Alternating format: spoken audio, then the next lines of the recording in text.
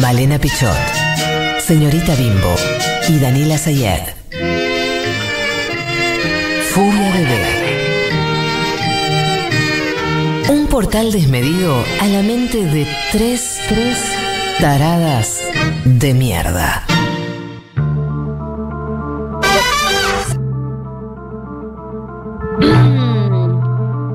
Bien, ¿están del otro lado? Sí. Sí. Estamos acá, Vieji. Ay, pará, que. Virginia está muteada. No, no estoy muteada. Esta música me pone, me pone en, en- en un mood particular.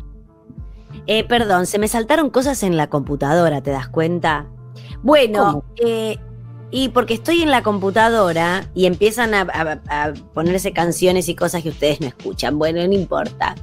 Eh, hoy en Chismes del Pasado vamos a hablar de un personaje, una actriz que a mí me cae bárbaro. Bárbaro me cae. ¿Quién? Drew Barrymore. Ah, Ay, la amo, bárbaro. Drew Barrymore, la resigo. La resigo yo también. La- el concepto es la sigo.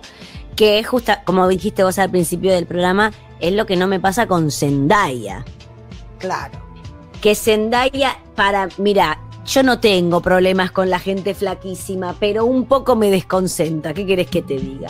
Y no tengo, eh, viste lo que digo siempre. Si está Catherine Hill, vemos la película. Si está Jennifer Aniston, vemos la película. Si está Drew Barrymore, vemos la película. Si está Julia Roberts, vemos, la, película. ¿Quién más? eh, ¿Con quién más les pasa a ustedes? Yo con Julia siempre. Con. Hay una actriz. eh, A ver. Ay.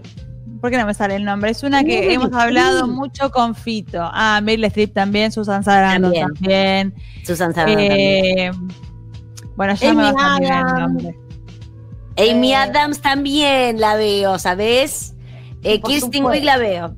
Bueno, Drew Barrymore es una de estas estrellas de Hollywood que ya sabemos en la historia de que era, era alcohólica a los ocho años, estuvo marihuana a internada, los cuatro. sí, internada un año en un psiquiátrico a los 13.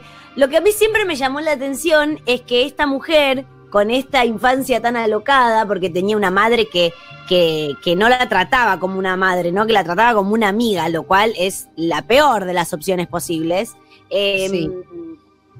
Siempre me llamó la atención como con esta infancia o adolescencia tan sacada y tan pasada, como ella ahora en la adultez, mucho más que la adultez, porque es una señora de 50 largos, ahora ella es como una nena cuando habla. No sé si la vieron, ahora tiene un talk show que creo que está en YouTube, hay, hay cosas. Sí, tiene una línea de maquillaje vegano también. Claro, y tiene un, un- un talk show tipo ópera que, que salió ahora como en el, eh, el año, eh, creo que, no sé si este año o el otro, pero digo, en plena pandemia. En pandemia, sí. Sí. Eh, y que ella cada vez que habla es como una niña grande. Hay ahí una traspolación. ¿Entendés Pero lo que te quiero decir? a nivel beboteo, a nivel tono, no es bebo- contenido. No es beboteo porque no hay algo como sexual. Está disfrutando la vida. Como una No, pero niña. esa niñada, esa niñada, y, y como tiene como un modo muy inocente de, de ser, o de, o de hablar, o de moverse, como medio entre tontona niñada. Y vos decís, Claro. pero si vos estás tomando merca por el ano a los 15 años, ¿cómo es que vos ahora sos tan inocente y tan delicada y tan femenina? Pero bueno, cada uno es como es, y como diría el amigo de Danila, eh, si es, es, y si no es, no es. No es Eh, mi amigo.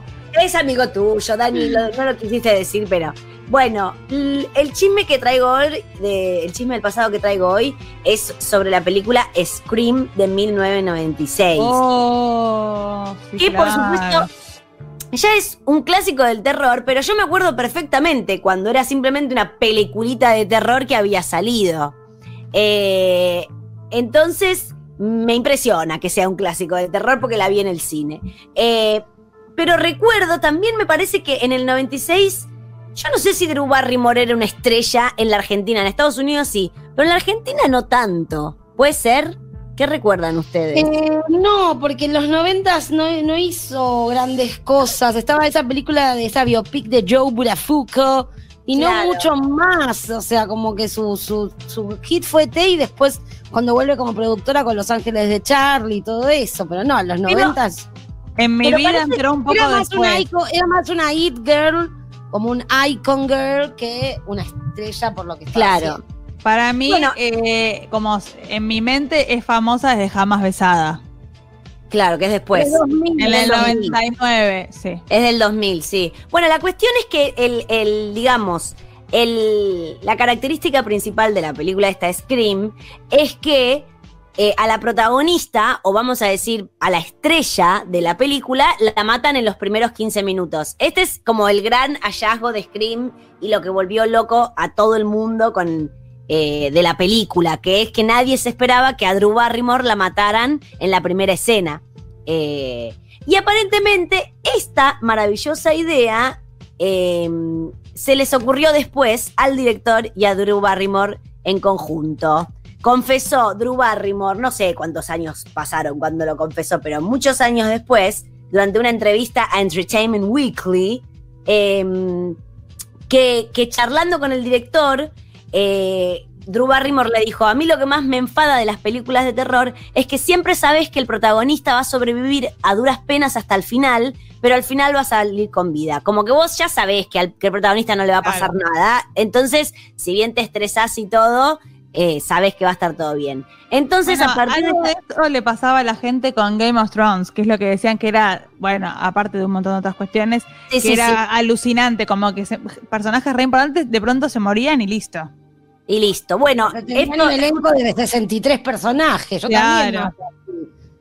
Acá Bueno, porque tenés dos, dos viejos y una actriz. En la ficción de acá no puedes matar a nadie. no puedes matar a nadie porque es un lío. Pero el, eh, eh, justamente es esto, que Scream eh, fue como la primera eh, la primera película en donde pasa esto, que es que confunden a, a- al espectador matando a la protagonista en, en los primeros 15 minutos y que vale rescatar que es una idea, es digo, la, la característica principal de Scream y fue una idea de Drew Barrymore.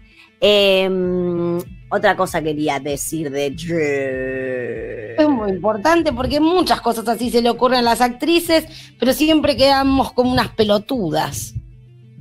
Eh, bueno, también lo que tiene de importante Scream es que es una película que habla de las películas de terror, como bueno, ya sabrán todos, que es como que siempre te da este juego de, de, de- de- de todo lo que sucede en las películas, ¿cómo se llaman? Las de cuchillos slasher, ¿no? Slayer, Slayer. sí. Como las Eh, reglas básicas de la protagonista que no puede coger o en camiseta blanca y Claro, y, y hay como un metalenguaje en, la- en, en esta película eh, sobre, sobre justamente el- todos los clichés de todos los clichés de, de las películas de terror. Bueno, eh, antes de Scream, no mucho antes, en el 94, eh, por esto te digo que Drew Barrymore ahora es como una mm, les pido que se fijen en su Instagram, es como una como una señora de su casa que tiene dos hijos y que es re buena y re divina y qué sé yo. Pero en el 94 em, se casó con un amigo eh, en Las Vegas, por supuesto, eh, y al otro día desapareció y no lo vio más a esta persona con la que se casó. Él, ella tenía 19, re- recién había... ¿Me escuchan? Sí. Sí. Sí, Ah, es fuerte y te- claro. Tenía 19 años y recién había salido de rehab. Y eh, también se había querido suicidar. Eh, y, y a- y tenía un trabajo en Beverly Hills, no, eh, eh, tenía un trabajo, no, estaba casado con uno, estaba de- eh, comprometida con un actor, que no, ¿cuál es Jamie Walters de Beverly Hills A ver. 90210? Esa la reví. Bueno, no sé, ella estaba eh, comprometida con uno y conoció a otro en la casa de un amigo y se fueron. ah, es uno que no era muy importante, ¿eh? Bueno, Bueno. pero no importa. Se fueron y se casaron en Las Vegas y ella el otro día dijo, ¿qué carajo hice? Y teniendo algo, algo, perdón que te haga un paréntesis, pero gente como yo, que del otro lado hay mucha, quiero que agradezcamos que no hay un Las Vegas donde uno se puede ir a casar, porque la cantidad de cagadas que nos hubiéramos mandado. Yo si hubiera habido en Las Vegas acá las veces que me hubiera casado con cada loco, y no, y no. Eh, agradecemos entonces a la municipalidad y al, eh, al no Estado. a Las Vegas acá. Gracias. Muchas Gracias, gracias. Estado. Eh, bueno, digamos que el 94, para mí, un año hermoso, el 95 también, el 96 ni te digo. Eh, pero Mis la peores verdad, años. Años más suicidas que nunca. bueno, vos y Drew Barrymore estaban en la misma. Si te hace sentir algo. Sí. Eh, me estoy otra vez traduciendo las notas. No, esto a la gente no le gusta. Esta No, gente pero yo prefiero una conductora que no pronuncie bien el inglés y diga Tom Cruise. No, lo traduce en vivo, déjala. Estoy traduciendo en vivo. Acá Bueno. la gente aporta datos. A ver, Según. Wikipedia, Drew pesa 57 kilos. ¿qué va a pesar Pero 57? qué público de mierda tenemos. ¿Quién No, carajo nos está escuchando que tiran el peso de las mujeres por la cabeza? Chicos, no pesa 57 kilos. 57 kilos en el 94 pesaba 57 kilos. Déjenme de joder las pelotas. No es una señora grande. eso. Se cae, se cae, se, se- se vuela con esa altura. Es una señora grande. Tiene 50 y pico, Drew Barrymore. No ¿Cuánto digas, tiene? A ver, dale, grande buscame. que tiene, estamos 46 ahí. tiene. Según la 46. gente, según la gente. Vamos Según la a confirmar. gente, No No, le bueno, creas a la según la gente. Según la gente, no, chicas. Mm. Bueno, en definitiva se casó con otro después para darle la green card. Unos quilombos bárbaros. Ay, Tiene qué 46. bien. Cinco años más que yo tiene, o sea, 45, 46 porque cumplió ahora en febrero. Es re chica. Me parece que está un poco destruida. Te pido disculpas, Drew Barrymore. Pero la verdad. Sumaba, eh, sumaba heroína a los ocho años también, dejala Bien. un poco. Tenés razón. tenés Y está razón. activa desde el 78. Claro, es mucho, es mucho. Es mucho. Es mucho. Estoy para ver eh, eh, Scream de nuevo, ¿eh? Me parece que hoy la veo. No, ¿por qué no nos juntamos mejor y la vemos juntas un día? Eso nunca pasa de ver películas con amigas. ¿Por No, qué? después te pones a charlar. Después Bueno, nosotros nos ponemos a ponemos a charlar. Necesito que repitamos. Hay que, no, no, hay que, hay que, yo no quiero contar las mismas anécdotas de siempre, chicas. Eso Yo me, me, voy a sorprender siempre, Malena, aunque la No sepa. quiero, no quiero, no quiero. Bueno, no tengo más nada de Drew Barrymore, así que Es bastante, te digo la verdad. Me has acusado de todo, le has dicho vieja, que tiene la cara rajada, que está niñada como una estúpida, la verdad, menos mal que no nos escucha. menos mal que me cae bien, menos mal que me cae bien. Menos mal, la verdad. Ya venimos.